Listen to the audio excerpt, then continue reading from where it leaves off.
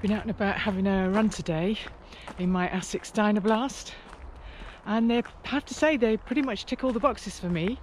Uh, those are sort of looks. I mean, look. Aren't they beautiful?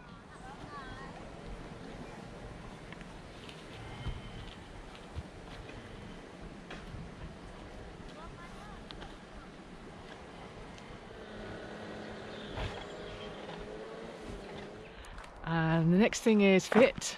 They are really comfortable. Um, nice wide toe box. I do love the knitted upper. I know a few people have expressed a few concerns about how it might be too warm, but I mean, I do spend quite a lot of time running in the winter and my feet are lovely and warm at the moment and I can't knock that. I'm loving it. Really comfortable. I, I really like this upper.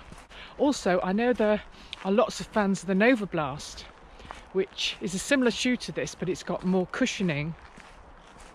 And what I would say is if you found the Novablast a little too squidgy and bouncy for you, then definitely give the Dynablast a go.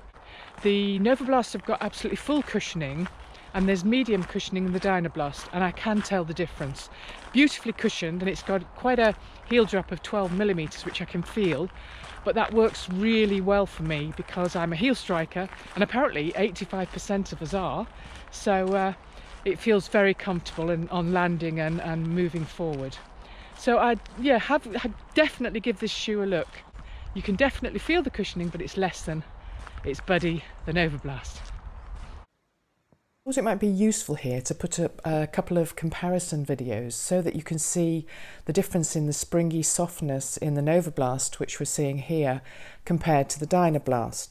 As you can see, the Novablast is really squidgy, and when we move on to the Dynablast, it's got ample cushioning, but it's not quite as uh, squashy as the Novablast was. So I thought the easiest way to show you would be via video.